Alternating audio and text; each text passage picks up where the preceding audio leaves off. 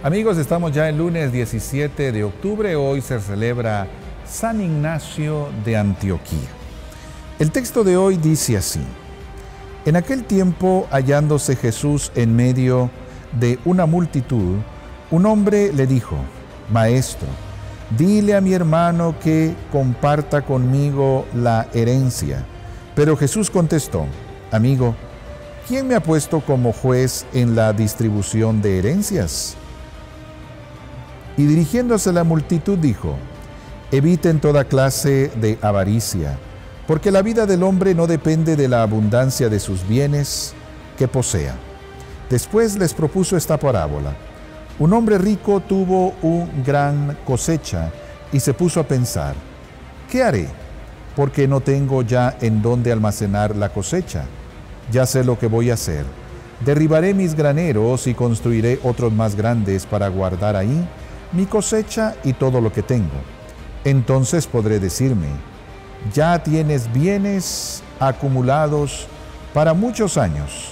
Descansa, come, bebe y date a la buena vida. Pero Dios le dijo, insensato, esa misma noche vas a morir. ¿Para quién serán todos tus bienes?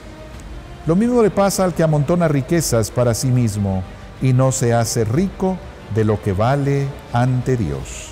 Palabra del Señor, gloria a ti, Señor Jesús. Dice que está el Señor y le piden que eh, intervenga para que comparta la herencia. Pero ¿quién me ha puesto juez para distribuir herencias? Dice Jesús. ¿Quién me ha hecho juez a mí? Y luego empieza con una parábola como para decir, mire, no se esté preocupando de las cosas materiales, no esté angustiado por las riquezas de este mundo, más bien busque riqueza ante los ojos de Dios, que es hacer el bien al pobre aquí para tener riquezas en el cielo. Y pone esa parábola famosa de este hombre que tiene una gran cosecha y dice, ah, la tengo bastante cosecha, ¿qué puedo hacer? Voy a tirar mis graneros, voy a construir otros más grandes para que tenga toda esa cosecha. Y ahora sí, voy a descansar y ahora sí voy a disfrutar. Como quien dice, ahora sí me voy a dedicar tiempo. Y dice, insensato, hoy te vas a morir. ¿Para quién trabajaste? ¿A quién le va a quedar todo eso? Eso pasa a la gente que pone en primer lugar la riqueza material y las cosas materiales y a Dios en segundo lugar y al prójimo y al necesitado en segundo lugar. Solo pienso en mí, el yo-yo, Solo pienso en lo que yo quiero, lo que yo necesito, lo que yo nada más, mi yo.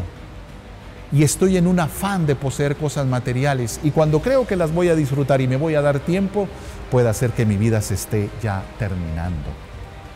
Tenemos que aprovechar el tiempo para guardar las riquezas que realmente son las más importantes. Al hacer el bien, tengo riquezas en el cielo. Al hacer el servicio a los otros, logro riquezas allá en el cielo. Porque las riquezas de esta tierra se acaban, se pierden. En otra parte del Evangelio dirá, el ladrón se la roba, el moho lo corrompe. No, usted guarde riquezas donde no hay ladrones, donde el moho no va a corromper nada, que es en el cielo. Sepamos orientar nuestra vida a lo más importante, la riqueza espiritual.